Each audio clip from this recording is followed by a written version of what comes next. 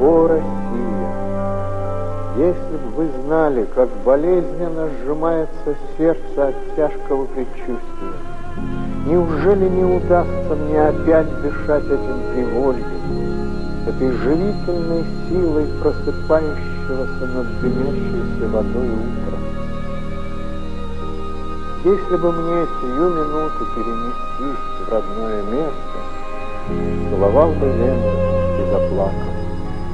Глубок, глубок смысл природы, если его понять кто может. Федор Васильев, Крым, декабрь 1871 года.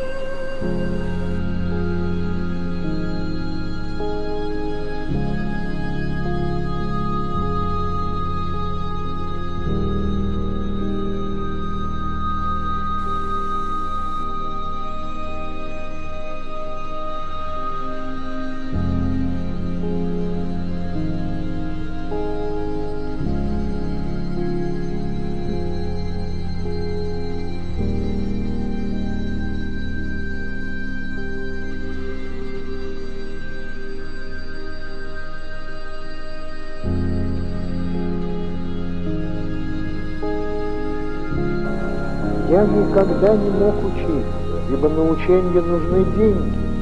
То есть не собственно на учение, а на жизнь в это время.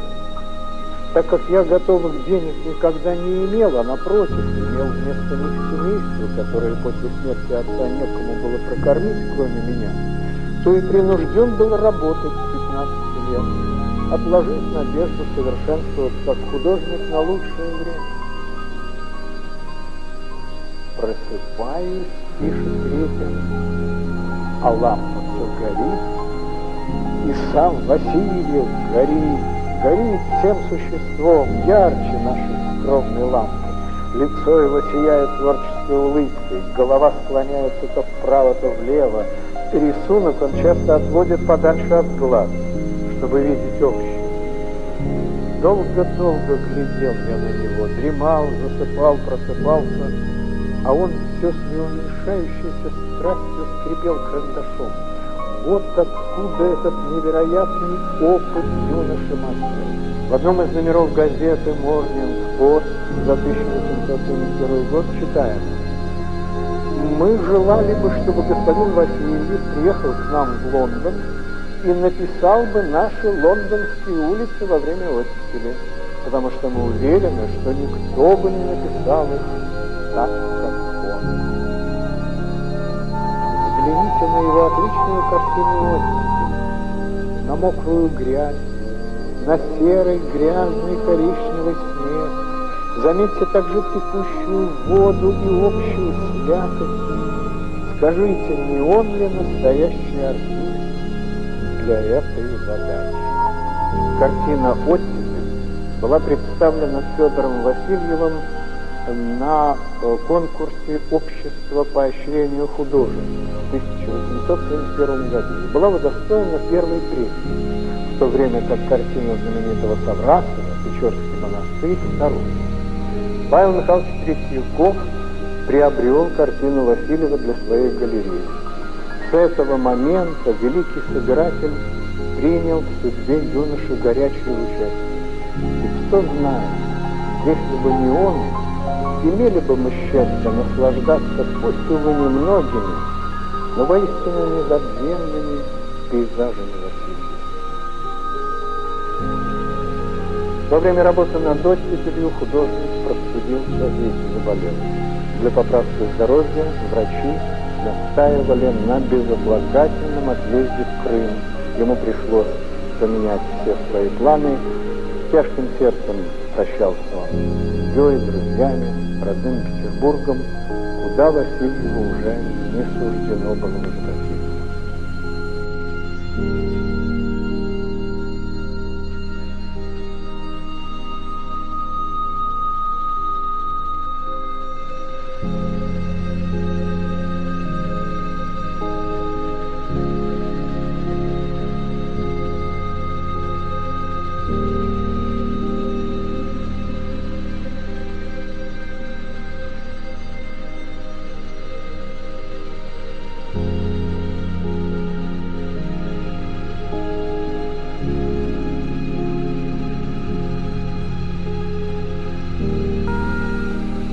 Уважаемый Павел Михайлович, обстоятельства заставляют прибегнуть к вам как к единственному человеку, способному помочь мне в момент.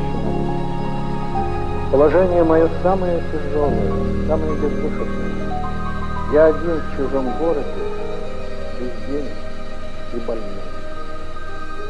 Будьте же здоровы, любезный друг, мужайтесь. Кто с молоду хворает, под старость крепче бывает. Всегда можете рассчитывать на мою поддержку. Новый конкурс общества поощрения художеств намечен на март 1872 года.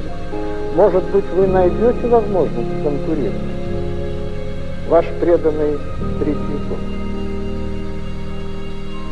Новой картине «Мокрый лук» Васильев отдает все свое время и все свои силы. Присланная на конкурс в Петербург, она изумляет всех. Третьяков оставляет ее за собой. Крамской пишет Васильеву в Крым. Она сразу до такой степени говорит ясно, что вы думали и чувствовали, что, я думаю, и самый мотив природы не сказал бы больше буря прошла, но в пейзаже есть все-таки ощущение безнадежности. И все это вы. Эта картина рассказала мне больше вашего дневника. Что нужно непременно удержать в будущих ваших работах, это ту окончательность, которая без сухости дает возможность не только узнавать предмет, но и наслаждаться его красотой.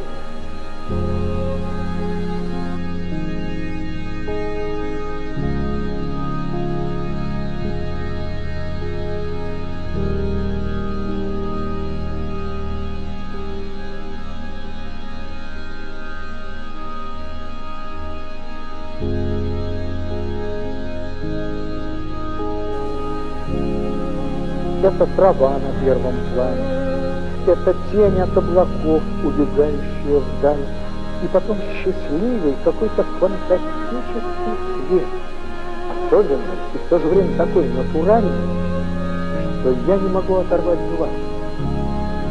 Мой мокрый лук — воспоминания о России, ибо в Крыму, кроме мерзости, бед и болезней, на меня не упало ни единого светлого луча, разве что иногда забываешься перед натурой. Только ее грандиозность и красота доставляли мне действительно счастливые минуты. Чувствую себя все хуже, но удержаться не могу и хочу, даст Бог, успеть окончить в конкурсу одну из начатых картин, а именно с татарской повозкой в горах.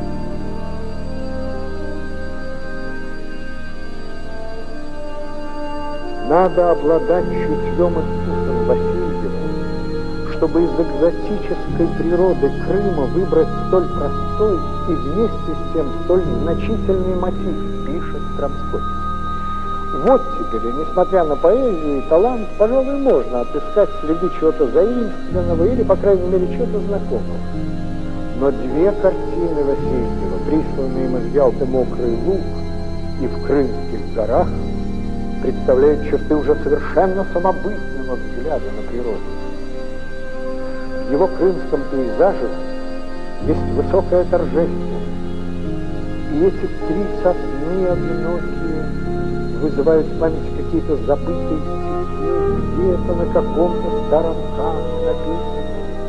Я рассказать вам не могу, что я испытываю, когда вижу этот пейзаж.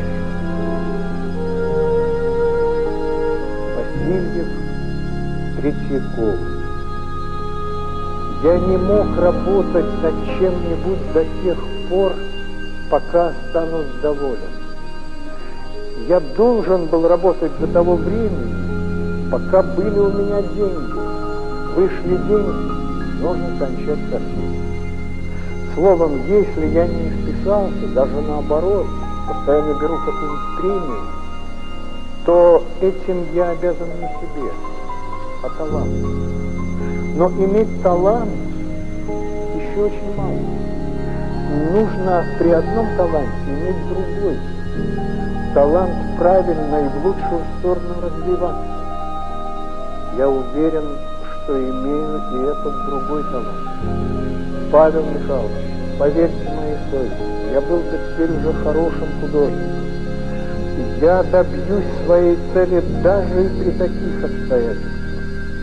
И остановить меня сможет только единственная вещь – болезнь и смерть. На склоне лет Крамской писал, Часто последние годы приходит мне на память честный, горячий и гениальный мальчик Василий.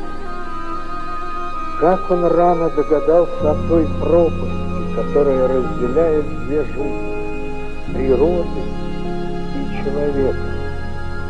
Васильев любил природу и понимал ее, ведь это так редко дается человеку. И Васильев умер. Он ко мне часто обращался с вопросом, зачем у меня в большинстве случаев такое горестное выражение, когда я счастлив? Он этого не мог понять, что личное счастье еще не наполняет жизнь. Не мог, потому что ему исполнилось тогда всего 23 года.